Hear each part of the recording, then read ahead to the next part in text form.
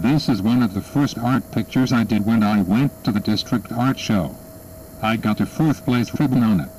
I drew this art picture on a program called Paint. It was done when I was in junior high. This is a picture of the planets. I drew it on the paint program. This is a picture of leaves falling from a tree. This picture was done in Photoshop.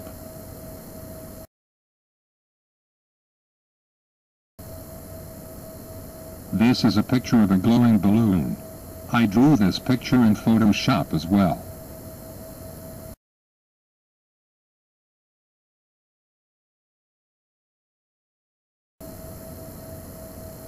This is a picture of a glowing bunny rabbit.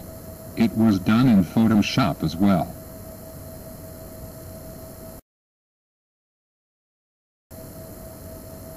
This is a picture of frozen yogurt. This picture was done in Photoshop as well.